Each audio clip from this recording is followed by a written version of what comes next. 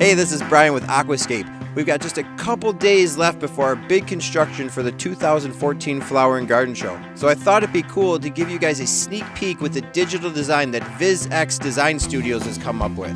As you enter into our booth, you're going to hear the faint sounds of a babbling brook waterfall. This babbling brook waterfall feeds a very small 4 by 6 foot pond, which I just love because small ponds fit just about everywhere. So as you continue to move through this space, you're going to notice these big giant stucco walls. The main purpose of those is really to block off what's on the other side of the wall. You're going to hear again the sounds of running water, but this time the running water is actually coming through a custom built outdoor dining room table.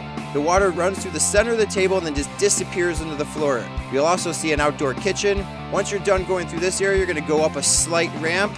You're going to see our spillways to the left as you continue to move that way, you can either go to the right or to the left. If you choose to go through the left, you're going to go through a big giant Japanese arbor. Move into a circle deck area that overlooks a very large Japanese koi pond.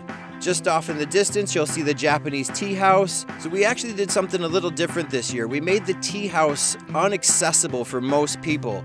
The only people that are going to be allowed to go into the tea house are the people that sign up for paid consultations. Once you've left the Japanese garden area, you can either go down some stairs or circle back and go down through the ramp. Once you've come into this area, you'll see a pretty traditional outdoor living space. We've got a Unilock fireplace going in, we've got a pergola over the top, and then we've got a little secret pathway that you see off in the distance. The secret pathway leads to a kid's garden.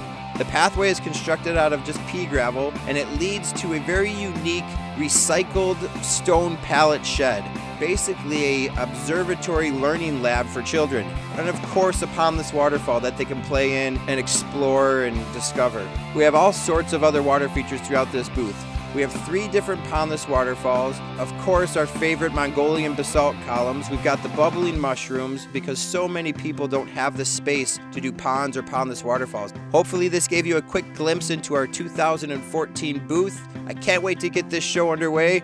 I hope to see you there.